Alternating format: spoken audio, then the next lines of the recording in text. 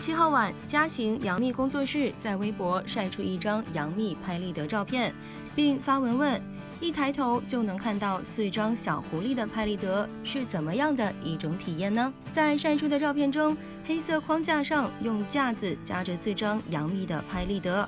杨幂换着不同姿势对着镜头比 V，引来网友纷纷调侃她酷爱剪刀手，非凡娱乐是。